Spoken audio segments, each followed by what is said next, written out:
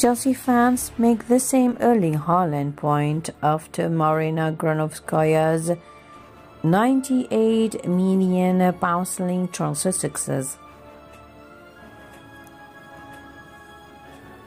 Chelsea fans have been staunch in their option that Romelu Lukaku has been a better signing than Erling Haaland may have been after the Belgians' quick start to leave at Stamford Bridge.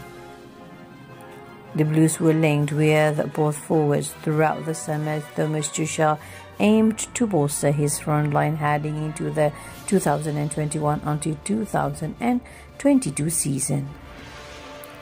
Indeed, a move for Dortmund striker Haaland appeared difficult with the Bundesliga giants seemingly unwilling to sell.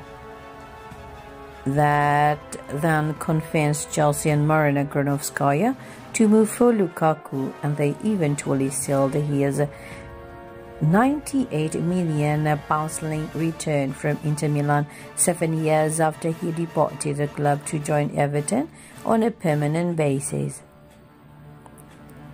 The decision to bring him back has already appeared to Bathurst the, the Blues for with Lukaku having scored four goals in as many games including the winning strikes against Zenit St. Petersburg on Tuesday evening.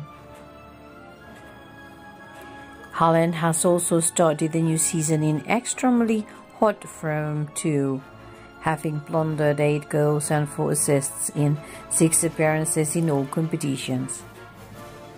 Despite that, Chelsea fans are sure that the Blues made the right choice in selecting Lukaku this summer and took to Twitter following the success over Zenit to share their options.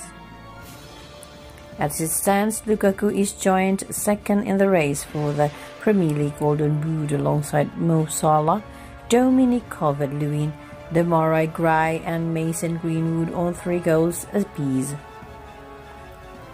Only Michail Antonio and Bruno Fernandes have scored more in the league than the Belgian with four of their own.